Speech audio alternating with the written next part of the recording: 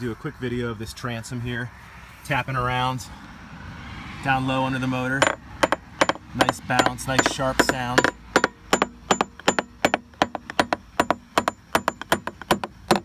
Up here I don't get the bounce, more of a thud all the way across the top, but then it starts to bounce right here again.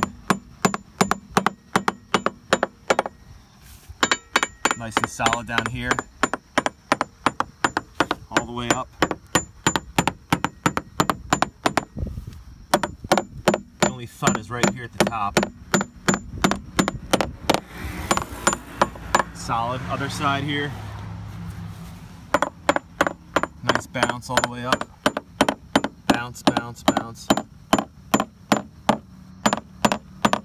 Pretty sharp sound. Super sharp here, nice and solid. Nice bounce. So the only part I'm skeptical of right here.